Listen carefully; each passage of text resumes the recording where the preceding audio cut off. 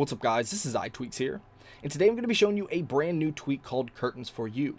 Now this is another free tweak that you can download from Ryan Petrich's repo. So if you need that repo, I'll go ahead and put a link in the description below for you guys to just copy and paste into your sources so you can download this tweak. Now what this tweak does, as you can see right here, if we go into our settings and let's say we wanted to go into general, let's go into Siri, and maybe we'll go into voice gender.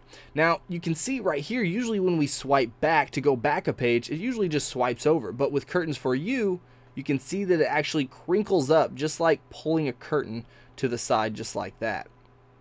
So if we do it again, you can see exactly how this little animation works. Now, the really cool thing about this is that, you know, I mean, it adds a brand new animation to swiping back, but you don't really see that very often. But the only downside of this is you can't really get this to work on uh, Safari or anything like that. So you can see right there, we still have that same exact uh, swipe over animation that we had before.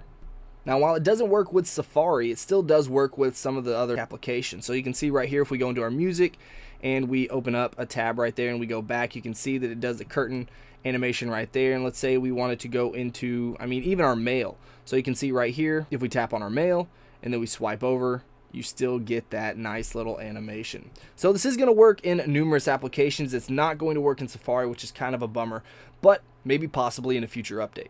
So let me know what you guys think about this tweak in the comments below. And if you enjoyed this video, please hit that like button. If you want to see more of my videos, then go ahead and subscribe. Alright guys, until next time, peace.